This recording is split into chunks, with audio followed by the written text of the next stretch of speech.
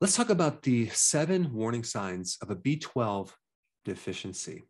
Now, B12 is it's kind of an important vitamin. It's involved in making DNA, uh, myelin sheath, which is the coating around the nerves. Like in this wire, if we were to take off the outside coating, okay, that would potentially short circuit. Same thing that happens in your nervous system. We'll cover that. Also, B12 is involved in making things like red blood cells, which is kind of important. So, B12 is uh, very, very vital. And it's important for you to know these symptoms because there's usually like seven big symptoms that are not necessarily related, but it's important to identify them because one thing about a B12 deficiency is that if you're deficient, you can actually experience irreversible damage to your nervous system. So, we're going to cover all that. But I first wanted to mention uh, one thing about the type of B12. Uh, there's two types there's a natural version of B12 and there's a synthetic version. Of course, I'm going to recommend always take the natural version. And the natural version is called methylcobalamin.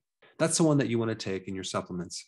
Uh, the other one that's synthetic that I don't recommend is called cyanocobalamin. I recommend you avoid that one because it's synthetic.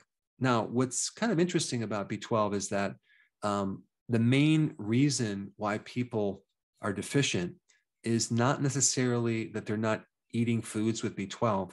It has to do with malabsorption or just they're not able to absorb B12.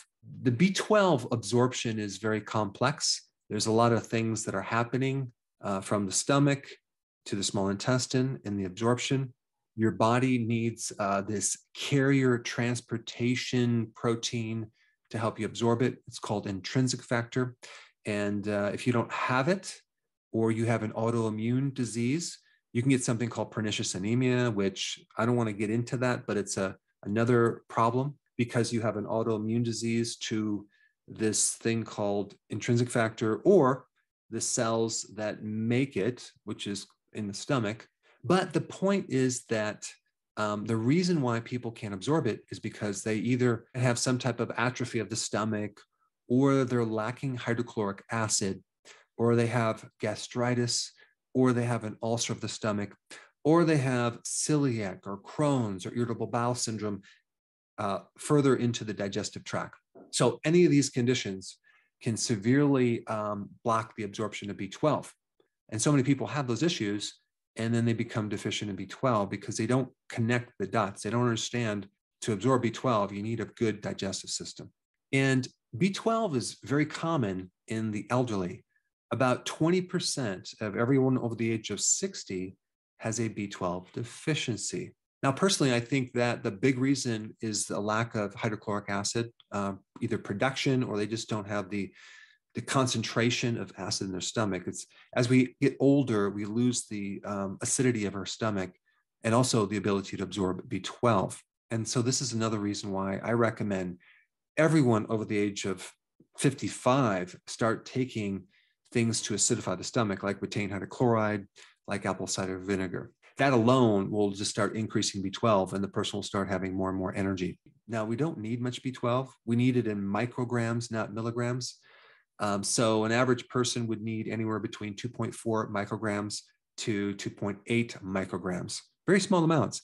But when you buy a B complex um, product, which you have to be careful because most of them are synthetic, when you look in the label, it'll say they're like a thousand to 5,000 percent more B12 than your body really needs.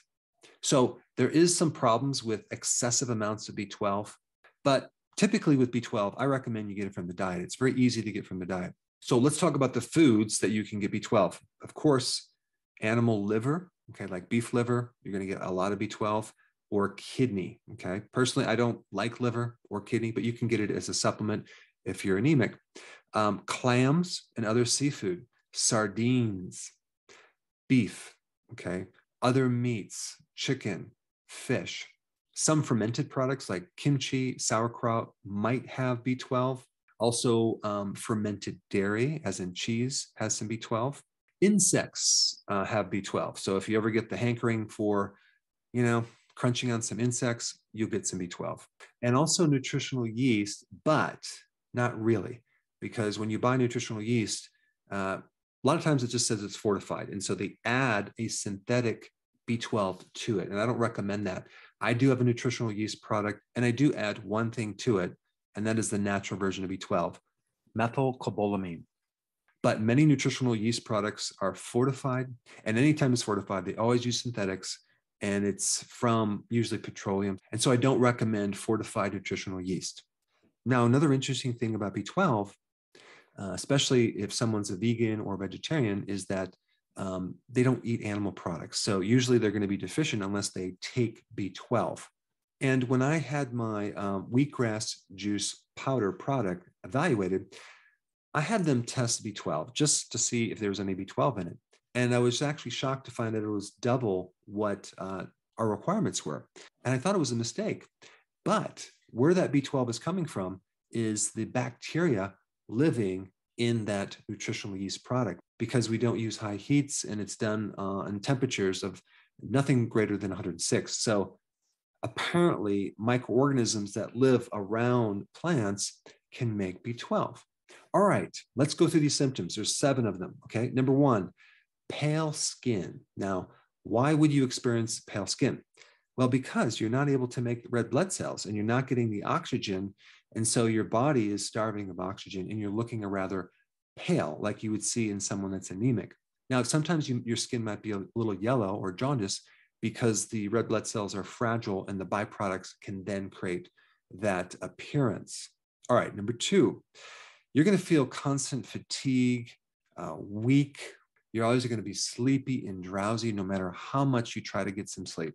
Uh, that is because without oxygen, your metabolism can't work. You're just going to be always tired. All right, number three, mouth problems. You may have um, ulcers in your mouth. Uh, you may have a shiny, swollen red tongue. Why? Because the tongue is not able to get oxygen and it's swelling up. All right, number four, cognitive issues. So without B12, you can be very, very depressed, severely depressed. You can have anxiety. You can have memory problems. You can have paranoia. You can be delusional. Your thinking really gets thrown off if you don't have enough B12 because both the brain and the nervous system need B12. When the brain doesn't get oxygen, it just cannot work. All right, number five, and this does relate to the cognitive function, but nerves, okay? If you're deficient in B12, you're not going to be able to make myelin. Myelin is the coating around the nerves, like I talked about. And so if you can't make this myelin, you're going to start getting a short circuiting problem in the nervous system. And that's going to uh, show up as peripheral neuropathy. Now, what's the definition of peripheral? Well, the outer edges of something, right? And neuropathy, neuro, nerve, pathy means disorder. So it's a disorder of the nerve on the outer edges of your body, like your toes or the bottom of your feet or your fingertips. In practice, I've usually noticed that it was mainly in the feet, not the hands, but it can occur in the hands. So we have peripheral neuropathy. Now, if you're very severely deficient in B12, you can experience irreversible nerve damage and you can be in severe pain. I mean, it's it's really really bad because it's irreversible. So what are you going to do? So this is why I'm doing this video so you can catch it before it creates irreversible nerve damage. I mean, in practice, I had a guy come in with this problem. Okay. It was so bad. He really wanted to commit suicide because it got to the point where he just couldn't get rid of the pain. And so now he basically is forced to live on uh, medication permanently, which is terrible. All right. Number six, blurred vision. Why? Because what helps you see is the retina. The retina is neurological tissue that is in your eye and it goes directly back into your brain. And if that's affected, you're not going to be able to see that well. So one symptom would be uh, noticing that you, you know, your vision is worsening and you need glasses for no reason. Suspect a potential B12 deficiency.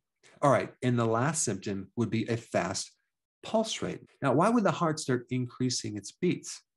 Well, that is because you can't make red blood cells. So that means you're not going to have oxygen, and the body has to compensate for a lack of oxygen by increasing the rate or speed at which your heart pushes uh, blood through the body. So, anyway, I just really wanted to increase your awareness on B12. now that you understand B12, I think the next most important vitamin to understand would be vitamin B1. And check that out. I put it right here.